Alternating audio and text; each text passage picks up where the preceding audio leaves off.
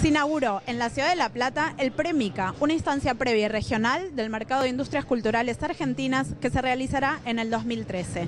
Las actividades funcionarán en el Teatro Argentino de La Plata hasta el sábado 29 de septiembre.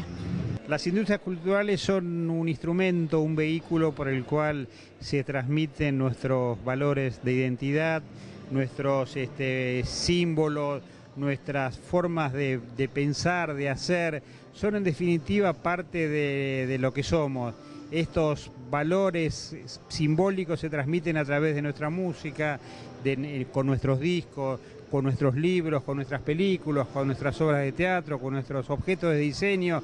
Todo ese conjunto es lo que se dio a llamar industrias culturales, que para Argentina es muy importante en su doble carácter, como bien simbólico por la capacidad de creación que tiene el país y además como bien económico.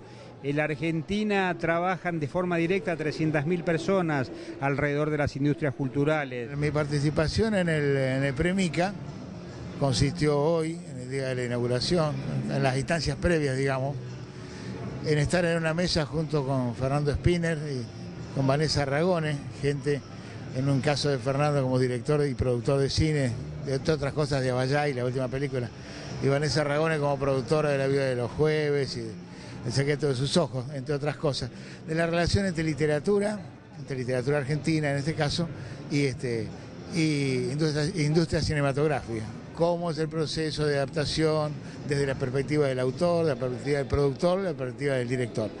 Ha sido una charla muy productiva, muy linda, con mucha participación de la gente, así que muy, muy estimulante.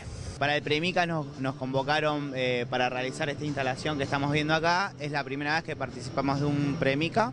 Eh, y bueno, eh, nosotros como somos de Lanús, de Gran Buenos Aires, nos convocaron para, para venir a, estar presentes como marca de ropa y, ser parte del área de diseño. Y bueno, estamos esperando el sábado que es el desfile.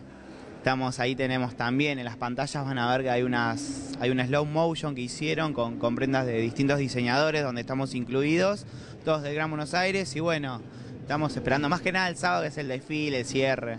Acabamos de dar una charla junto a Vanessa Ragone, productora del Secreto de sus Ojos, Todos tenemos un plan, Las viudas de los jueves y muchas otras películas.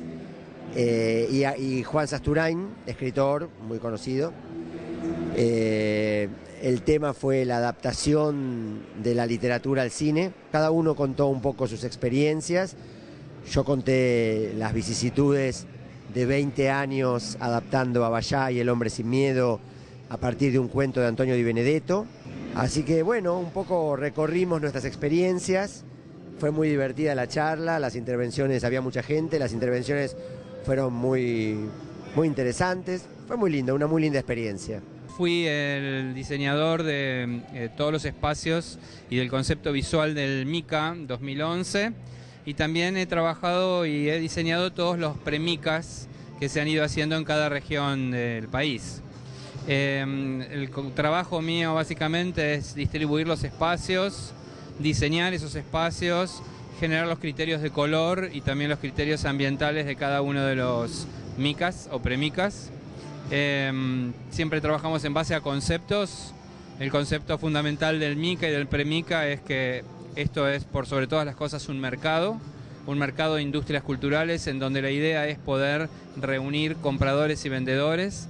Y esta idea de reunión está pensada como una reunión eh, relajada, flexible. Por eso no es de ninguna manera un lugar en donde encuentres stands, sino lo que encontrás son lugares de, de, encuentro, espacios de reunión, espacios para la conversación, espacios para poder intercambiar ideas.